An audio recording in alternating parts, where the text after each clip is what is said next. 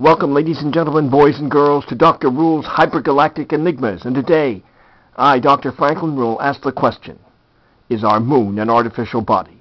Now, roll tape! Gentlemen, boys and girls, to Mysteries from Beyond the Other Dominion.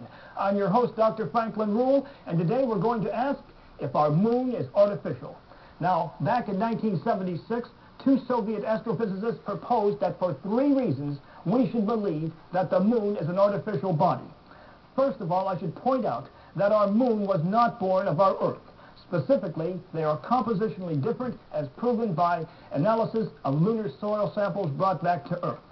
First of all, though, our moon is a nearly a perfect circular orbit about the Earth.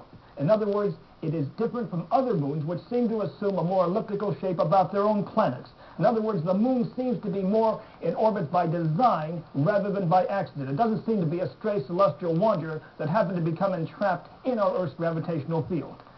Secondly, when the Russian lunar vehicle explored the surface of the moon, it found that the mass of the moon is concentrated in an outer shell surrounding a hollow center.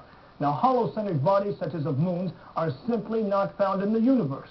And thirdly, when one of our own Apollo landing modules was dropped back upon the surface of the moon, it revealed that the surface of the moon is where most of the mass is concentrated. In other words, it yielded a bell-shaped or Gaussian distribution pattern, again arguing for a hollow-centered body.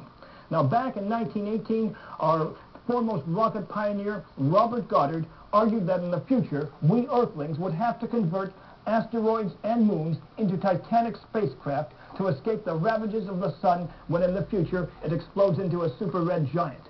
Possibly aliens from another world facing that very same dilemma converted one of their own moons into a giant spacecraft. And some two, four, six billion years ago, they parked it into orbit around the Earth. Now, I don't know if they're still alive or not, but inside the moon, if this theory is true, we should find living quarters, food stores, engines, and alien bodies, either alive or dead. Now, until next time, may the force be with you. Yes, yes, yes!